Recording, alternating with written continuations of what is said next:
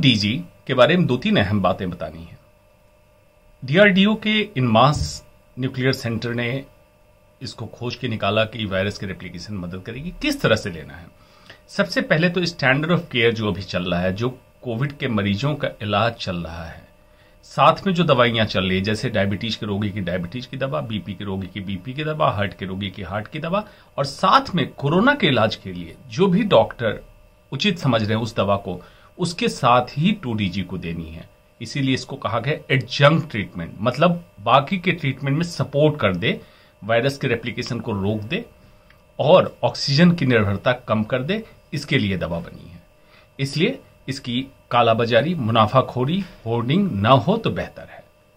ये एक sachet form में पाउडर फॉर्म में ये दवा होगी। जैसे आम ग्लूकोज का पाउडर आप देखते हैं, उसको पानी में मिला के और डिजोल्व करके अंडर मेडिकल केयर ही लेना है इसको। ओवर द काउंटर खरीद के नहीं लेना है।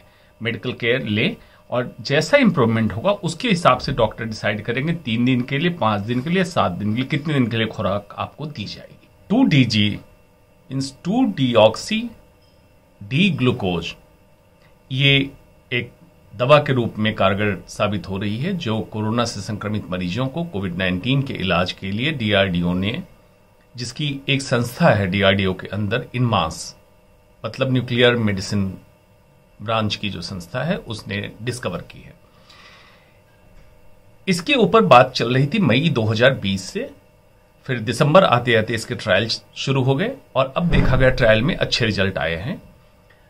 अच्छे रिज़ल्ट से मतलब है कि कोरोना के मरीज़ जिनमें टू डीजी दवा दी गई, वो तीन से चार दिन पहले रिकवर हुए और ऑक्सीजन पे निर्भरता ऐसे मरीजों की कम हुई। दो फ़ायदे देखे गए। इसलिए इसको अप्रूवल दिया गया और मरीजों में इस्तेमाल किया जाएगा।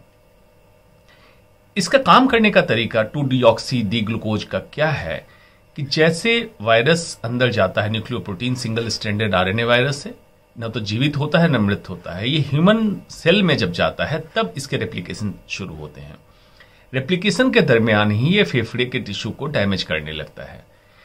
टू डीऑक्सी ग्लूकोज एक ग्लूकोज का एनोमली एनालॉग है और ये जब सेल के अंदर जाएगा तो वायरस को चकमा देता है। ऐसा महसूस करता है वायरस की ग्लूकोज आ गया और उसको लेने के लिए।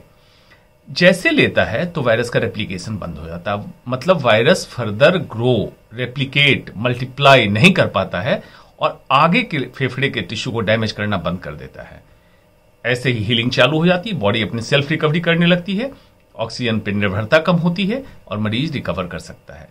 ये कोई नया मॉलिक्यूल नहीं है। टू डीजी का इस्तेमाल कैंसर के मरीजों में पहले भी किया जा चुका है, जैसे पैक्लीटेक्सिल कीमोथेरेपी को सेल के अंदर घुसाने के लिए, क्योंकि कैंसर सेल ग्लूकोज के लिए काफ़ी उत्सुक होता है, क्रेव करता है, ज़्यादा चाहिए उसको ग्लूकोज। तो टू डीऑक्सी ग्लूकोज जैसा मैंने बताया कि एनालॉग है ग्लूकोज का, इसको पैक्लीटेक्सिल के साथ अटैच किया गया और कैंसर के मरीजों को दिया गया।